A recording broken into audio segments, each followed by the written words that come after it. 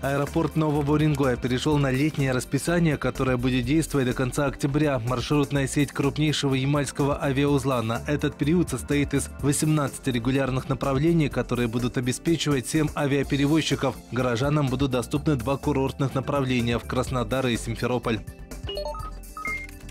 Команда Новоренгойской школы имени Героя России Владимира Шарпатова приняла участие в 16-м Всероссийском кадетском сборе в Москве. На мероприятие съехались воспитанники кадетских учебных заведений из 52 регионов страны. Из восьми этапов состязаний новоренгойцы признаны лучшими в пяти конкурсах. В общекомандном зачете они стали победителями.